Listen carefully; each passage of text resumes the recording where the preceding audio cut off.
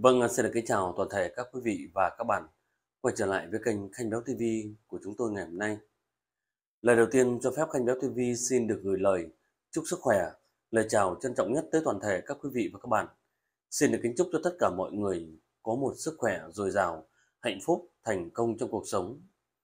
Ngày hôm nay, Khánh Béo TV lại cập nhật lễ tang của cô giáo Lê Thị Khánh Hòa. Cô giáo Lê Thị Khánh Hòa sinh năm 1987. Không may, trong một thời gian vừa qua, cô lâm bệnh hiểm nghèo, mặc dù đã được toàn thể gia đình cùng các y bác sĩ đã tận tình cứu chữa. Nhưng vì căn bệnh quá nặng, cô giáo đã không qua khỏi và đã chút đi hơi thở cuối cùng, nay đã trở về với tổ tiên. Sau đây, chương trình lễ tang của cô giáo Lê Thị Khánh Hòa diễn ra như thế nào? Thì Khanh Báo TV xin được trân trọng kính mời toàn thể các quý vị và các bạn chúng ta hãy cùng theo dõi.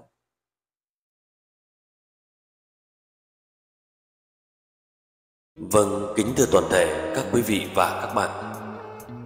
Đây là lễ tang đau lòng của cô giáo Lê Thị Khánh Hòa. Em Lê Thị Khánh Hòa sinh năm 1987. Em sinh ra tại Tiền Hải, Thái Bình Hiện em đang là giáo viên Nhưng không may Trong một thời gian dài Em mắc phải căn bệnh hiểm nghèo Mặc dù đã được Toàn thể gia đình Cùng các y bác sĩ đã tận tình cứu chữa, Gia đình đã hết lòng chăm sóc. Xong, vì căn bệnh quá nặng, cộng thêm sức cùng lực kiệt, em đã không qua khỏi và đã chút đi hơi thở cuối cùng, trở về với tổ tiên đây là một nỗi xót xa vô hạn mà không có gì có thể bù đắp được đối với gia đình của em Lê Thị Khánh Hòa. Đối với gia đình, cha mẹ thì em luôn là một người con hiếu thảo luôn luôn chăm sóc và lo lắng cho cha mẹ đối với chồng em luôn là một người vợ thủy chung, đảm đang, son sắc. Đối với các con, em luôn là một người mẹ ân cần, mẫu mực. Đối với anh em bạn bè hàng xóm, thì em luôn là một người cởi mở, luôn hòa nhã với mọi người và được mọi người tin yêu. Nhưng thưa các quý vị, ngày hôm nay sau cuộc sống quá nghiệt ngã, và giờ này em đã không còn trên trần gian này nữa. Cảnh lá vàng khóc lá xanh rơi, trời ơi có thấu cho đời người không? Sự ra đi của em để lại một gánh nặng vô cùng to lớn cho người chồng, để lại cho các con một nỗi hững hụt mà không có gì có thể bù đắp được.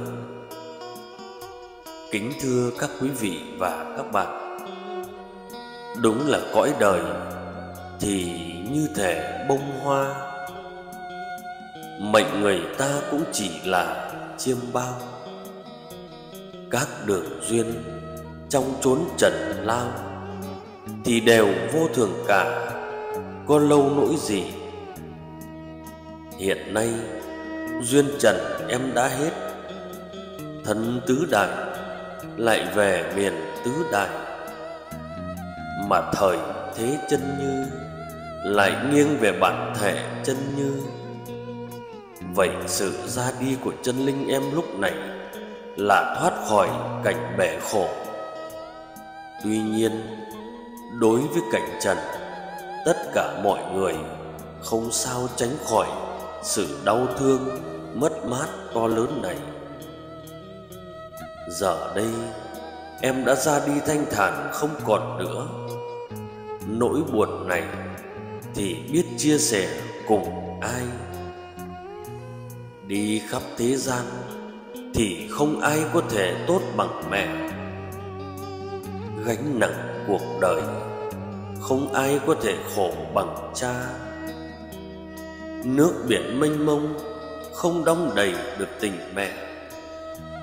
Mây trời có lồng lồng Chẳng phủ kín được công cha.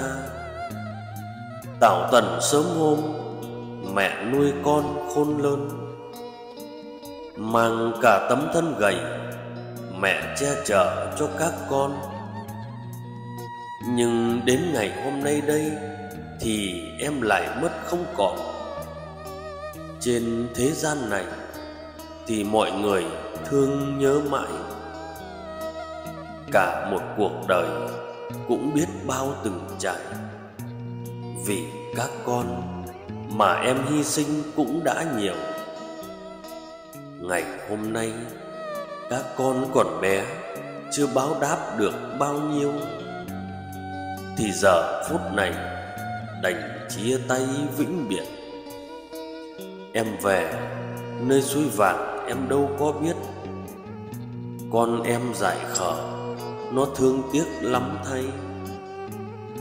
Giờ này đây em bỏ tháng quên ngày. Em ra đi thanh thản Về miền cực lạc Có khôn thiêng, Hãy che chở cho gia đình, Ông bà, bố mẹ, Anh chị em. Đặc biệt là chồng con, Được mạnh khỏe bình yên thập nén nhang thơm xin vĩnh biệt, Hãy phù hộ cho tất cả mọi người Kể từ ngày hôm nay Thank you.